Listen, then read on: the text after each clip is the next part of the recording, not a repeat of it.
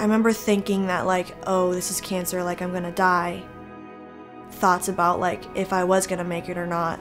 And literally immediately after that, my thought was, or I'll be able to live.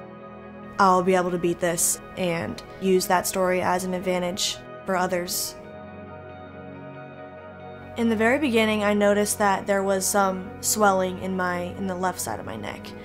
I think I waited probably like a month and I was like a little more concerned after that because I was kind of anxious about like trying to go to the hospital and get it checked out. So I had no other symptoms. So we went to the pediatrician first, and the pediatrician said he wasn't really sure what it was. Eventually, we got an x ray. Within 30, 40 minutes, um, he called and said, We see something on the chest x ray that we are very concerned about. We want to do the biopsy within two days. I think it was less than three weeks from the time we had her pediatrician appointment to escalating all the way to the ENT doctor and within two days getting the biopsy. Uh, the day after her biopsy, we got a call that was that confirmed said that she had cancer, Hodgkin's lymphoma. We were all crying, of course, um, and I'm telling them what's going on. I told Blake. The first thing she said to me was, "Am I going to die?" And she's 15 years old at this time. She said, "I'm going to beat this, and I'll be able to, be able to say I beat cancer." As a parent, you know, you want to take it from them and but to hear her respond that way gave me the confidence that she was going to do this to beat this too. And she had that attitude through the whole thing.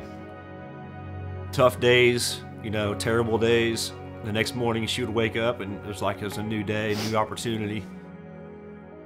So I ended up having to do 12 chemo treatments over the span of six months. And then I had another scan at the end and they noticed that there was some still left so they decided to do 17 radiation treatments. And I was in remission um, by that September, and I had gotten diagnosed the November before that.